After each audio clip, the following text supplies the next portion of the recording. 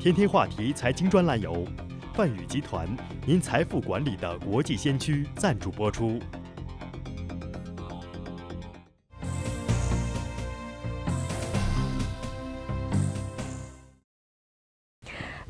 欢迎收看本期的《天天话题之财经专栏》。在今天的节目当中呢，我们继续为您邀请到的是我们的老朋友，美国泛宇集团的总裁胡正国先生。胡先生您好，主持人你好，各位观众大家好。胡先生，我知道我们今天讲的这一个是一个非常有用的一个呃理财的一个好工具，也就是呃我们经常谈到的有关这个指数型的保险以及年金哈。嗯。那我想首先能不能请您大概帮我们介绍一下有关这个指数型的保险，它这个产品的由来是怎么样的？我们先要看任何的产品都有它的时代背景，还有它的产生的原因在哪里。在我认为，过去三四十年，大概保险大概每十年就是一代。嗯，为什么要一代？就因为呢，当有新的问题出来了，原来的产品不合适了。嗯哼。然后呢，就研究新的产品。那新的产品出来了以后，能够好了十年以后。哦，可能另外一个产品出，呃，另外一个问题出来了。嗯那我们在过去呢，我们可以分成几几个几几个时期。第一个时期呢，大概在一九七零年以前，七几年以前的话，那个时候保险大概只有分，呃，成普通的定期保险，就是 term insurance，还有加上当初的 whole life，就是根据拿红利的，比较基本的终身的保，证，呃，分红的保险。可是到那 turn 当然不不能算，因为它是短期的保险嘛。那是当然了。那很多人说，我想一辈子有保障或有其他的用途的话，所以我们讲那个时候的储蓄险只有一个终身的分红保险。嗯哼。可是可是呢，可终身的分分红的保险，它主要呢，它的利息的结构呢，它的红利是怎么主要是哪里来？它是根据长期的公债的利息来走势。可是，在七零年到八零年的时候，那一代的时候呢，因为呢，当时的呃利率很低了，长期公债的利率很低了，所以一般来讲呢，所以在分红的保单的好好不好，是就没有那么好的效果了。所以呢，在那个时候呢，他们在七零年的时候提出来一个原因，一个口号就是什么？我们呢，不如把同样的保费，我自己去买 term insurance，然后把差额去自己做投资。所以那个时候最七零到零年到八零年最大的口号就是叫什么，buy turn invest difference，嗯，就是我原来可能一个月要付三百块钱去做分红保单的，但是呢，现在呢，我真正来说，那我就不如花一百块钱去投资定期保险，嗯哼，然后另外两百块我自己去做可能基金啊或其他的投资了，嗯啊，因为这样子他们那个时候理论是说我年轻的时候我我可能。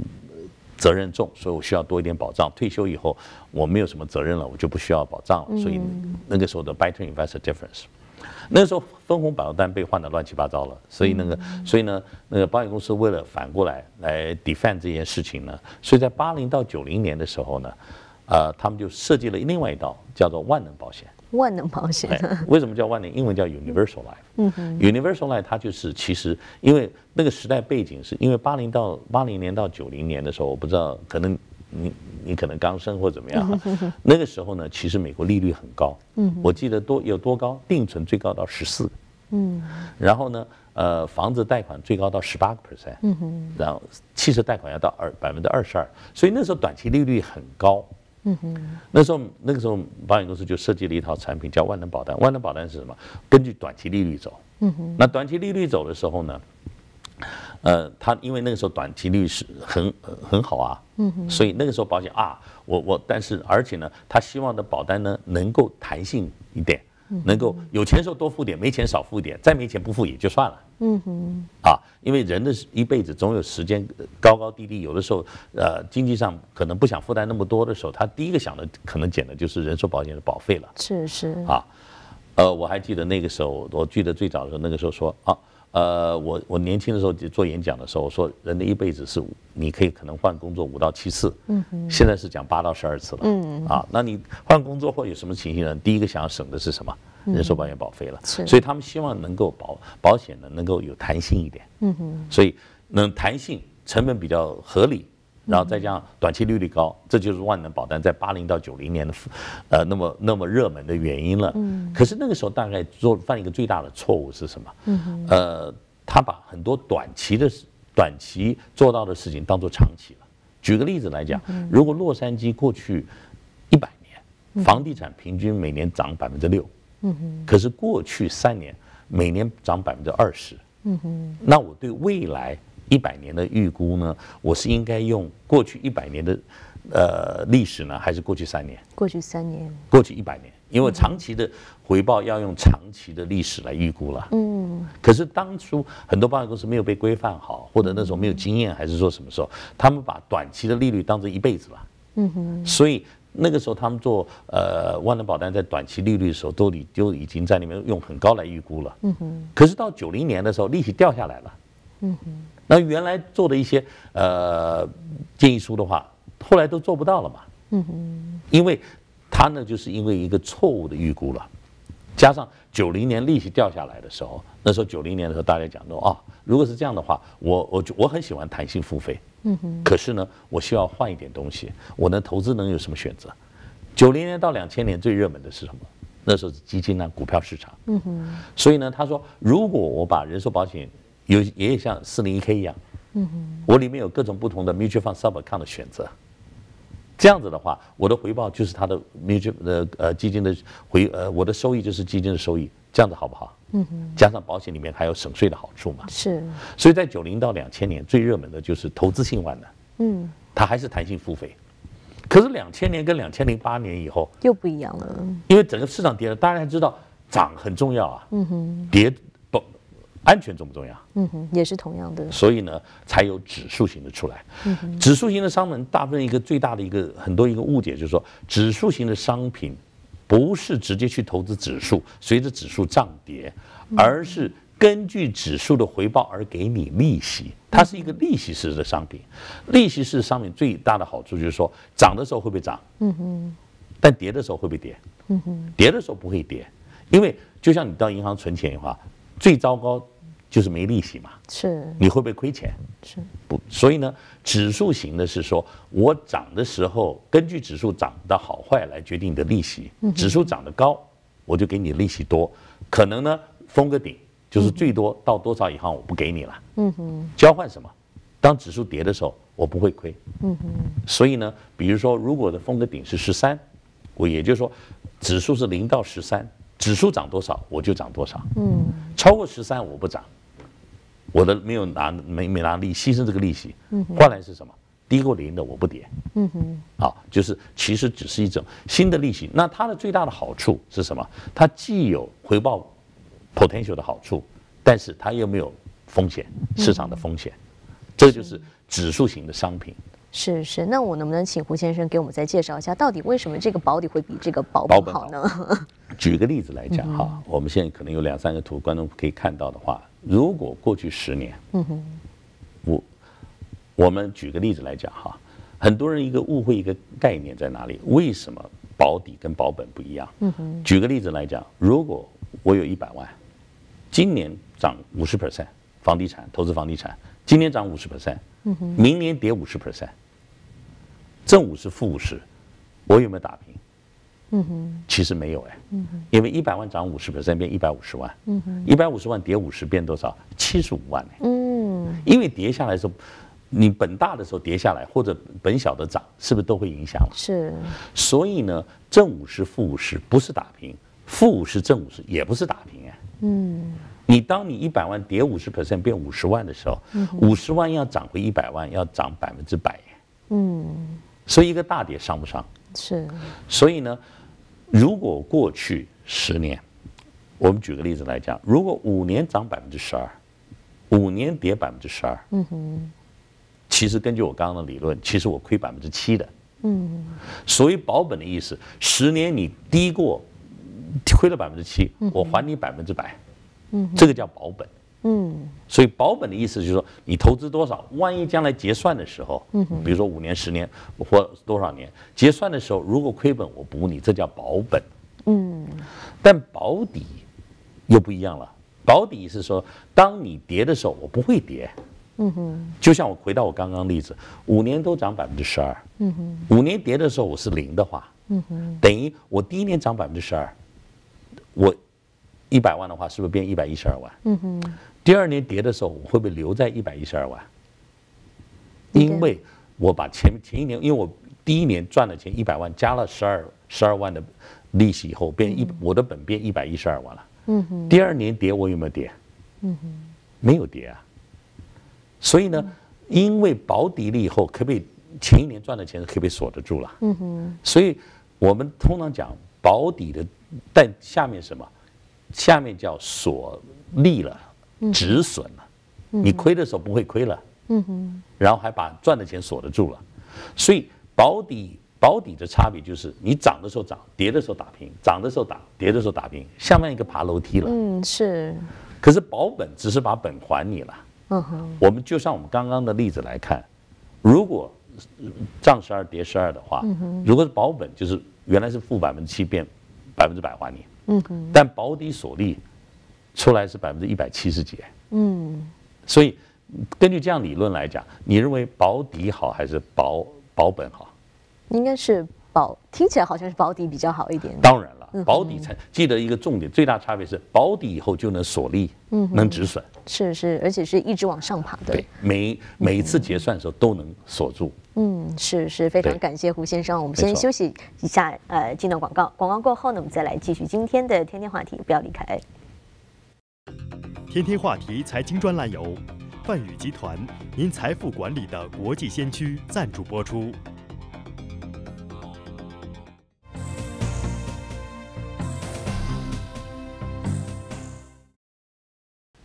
感谢回来，在今天节目当中呢，我们继续为您邀请到的是美国泛宇集团的总裁胡正国先生。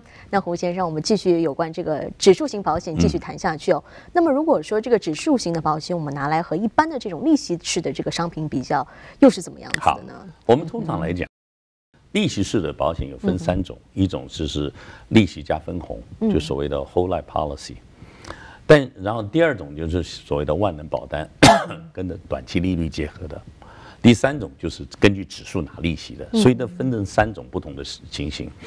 那通常我们来讲，我们讲一个最简单的一个概念是长期规划。你觉得你要跟长期投资的标的物结合好，还是短期的？长期。长期。举个例子来讲，你的四零一 k 里的钱，你会不会放在公债里？全部放公债里？应该不会。啊，而且一直放在公债里。这个有一点困难，我会不，所以呢，为什么为什么你你不不会愿意把长期放在公债里呢？因为它是一个长期的嘛。长因为长期的时候，你你希望能希望能抓住它的账的的部分嘛。那不管是分红式的保险，就像所谓的 whole life 或者万能保险的 universal life，这个两个只是拿利息的方式不一样，它连接的还是不是跟利息有关？嗯哼，只是长期、短期公债的连接加上一点分红而已。嗯哼，如果是后来的话，所以呢，真正说长期来说都不会太高了。嗯哼，啊，那可是呢，长期的话，你应该投资像房产啦、像股票、股市啦这些的好处，是不是？你跟 equity 有关的话，它是不是 potential growth 会比较高了？是，对不对？好，可是唯一的问题在哪里？长期的话，你投资股票基金的话，唯一你又担心什么？嗯哼，怕跌嘛？是，跌的是大跌。如果我们能够给提供一个好处，说能够有 equity 的成长，up to the cap，嗯哼，到对不对？但是跌的时候跌不到你，嗯哼，那这样的好处好不好？当然好了，当然，这就是指数型的，嗯，啊，指数型，他们怎么会做 做得到呢？嗯哼，因为今天时间不够，所以我没有办法详细解释，我大概一个概念，其实把大部分的钱其实是拿去来保本，嗯哼，啊，所以每一年保底先把它保住。是，然后剩下的钱利用期权的方式来操作，啊，用期权来放大它的回报，嗯，啊，这一类的做法也只有美国才能做得出来，因为美国才有长期的固定收益，加上期权市场健全。可是呢，好，呃，市场好的时候期权发威，市场不好的时候期权就算不好，但是你至少。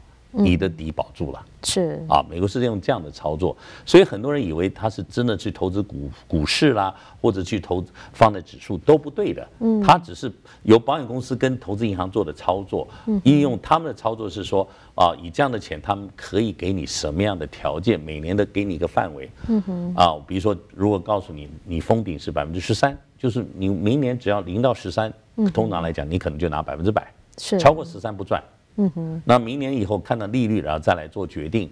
通常这样的好处呢，对于投资者来说，我我最大的问题在哪？最大的风险什么？今年没有利息嘛。是。可是好的时候能不能抓得住？可以。所以一般来讲呢，大部分指数型的，尤其在保险，因为时间比较长一点的关系，大概它的平均回报可以做到六到八。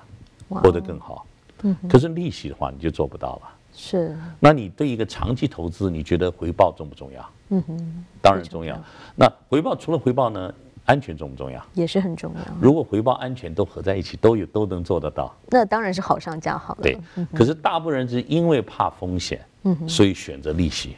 嗯。但是呢，就像我刚刚讲，是不是每个人都应该把四零 K 长期规划放在公债呢？嗯哼，不是嘛？嗯，在你有短期、中期、长期，你是不是都应该应该做不同的计划了？是是，对，长期计划的时候，如果能保底的时候，嗯哼，其实你的平均回报就不容易差了。嗯，因为在过去四十年里面，在标准普尔五百指数里面，任何十年最多四年跌。嗯，如果这四年跌你是零，六年涨你赚得到。嗯哼，那平均会不会好？是，所以呢，这个这个是我们常常在外面听到一些情形，就是说，当你真正了解指数型的它是怎么操作的时候，你会蛮喜欢的。是是，那如果说刚才听到这里，我觉得刚才您介绍的这个有关指数型的保险是一个非常好的工具哦。那么这个时候问题就来了，到底什么样的人比较适合这类的投资？其实我我这样讲好了，嗯嗯，大部分的人的话，是不是你所有的长期投资都要放保证？嗯哼，一定保证，一定给你多少？保证一定给你多少？呃，现金价值。嗯哼，通常我们开个玩笑话，是，你全部都要保证，你就不会好的，不会高的。嗯哼，因为长期来说，你要保证，就像定存，嗯哼，有没有保证高的？没有，没有，对不对？公债利息有没有保证高的？嗯哼，对不对？是。所以呢，你今天来讲，你你放一些比较安稳的钱是可以的。嗯，但是呢，真的被时间长的时候啊。你可以说，我只要有保底的话，嗯哼，其实我就 OK 了。是，因为我的 potential 潜潜在的回报可能比我需要保证来的好得多。嗯哼，啊，当你回报好的时候，因为财务上有个公式叫七十二法则。嗯，你用七十二除以你的利息或回报，所得的结果是你钱多久会翻倍啊？嗯哼，越长的时间回报很重要，但是如果回报能能够有好的回报，又能够保底。嗯哼，你的安全性也有一定的好处的时候，这个时候。远比那些只要保证来的好得多了。是是，胡先生，其实我之前也听到很多这个人在讲哦，大家觉得说好像有关这个指数型的这个保险，好像呃，据说风险是非常高的。这种这种言论有可不可靠？其实呢，这些是他大概通常一些尤其喜欢卖分红保单人，他自己的要不然不能卖，要不然根本不了解。嗯，他做的攻击都完全是很多不实在的攻击。嗯，因为其实他根本没有完全了解什么叫保底跟保本的差别。嗯，第二个来讲就是说。因为保底才造成呃造成回收的的 potential 高得多的样的优质，而是一些一一直在慢昧的攻击。我通常常常讲问的问，我会问他们讲，你去问问那这些卖分红型的保单，他能不能卖指数型的保单？嗯，如果不能卖的话，他的公他的公司没有卖的话，那他的攻击是不是实在的？是我如果没有卖这些东西的话，我当然可能要攻击了。嗯，所以真正来讲。这也就是为什么，其实现在呃，指数型的保险已经在美国是主流了。现在所有新的保费里，超过百分之四十都到指数型了。嗯。可是呢，呃，我很可惜的，我在外面常常看到一些专门做分红保单的人，因为不懂得指数型的保单，而一卖一昧的在攻击，不实，尤其这攻击还很多是不实在。我真的想，是他们应该真的去多了解一点。嗯，是是是，今天非常感谢胡先生跟我们分享这么多资讯。那同时呢，非常感谢各位的收看，我们下期同一时间再见。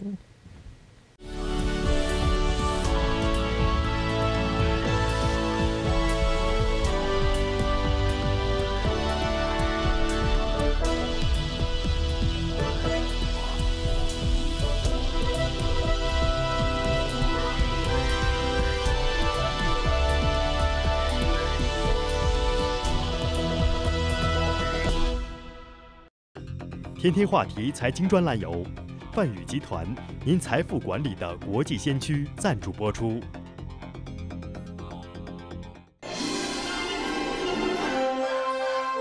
您正在收看的是凤凰卫视。